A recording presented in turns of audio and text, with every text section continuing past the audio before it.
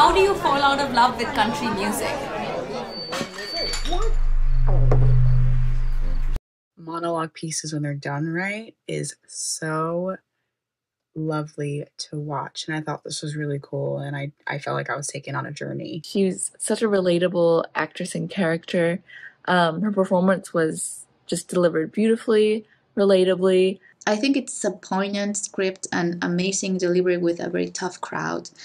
Um, touching on belonging, tolerance, acceptance, integration, and braveness, all smoothly incorporated into this piece. I think that's really interesting and a really brave thing to explore. Great use of lighting and coloring in this piece. The blue and red wash we see at the opening and throughout was very visually dynamic.